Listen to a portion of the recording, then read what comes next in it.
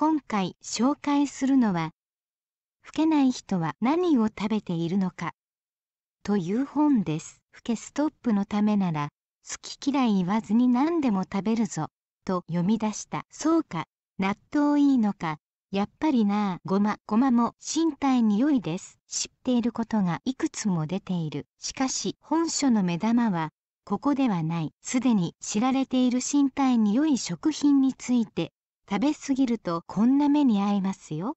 とその理由や仕組みを解説してくれている点だ過ぎたるは及ばざるがごとしを具体的な食材を取り上げて説明してくれているのは助けになった。また食べ物ではないが顔のマッサージをしてたるみを予防するよりよく噛んで食べる方が効き目がある。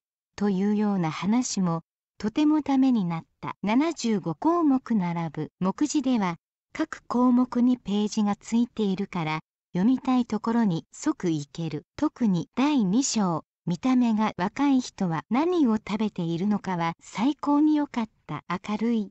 前向きな空気の本。以上。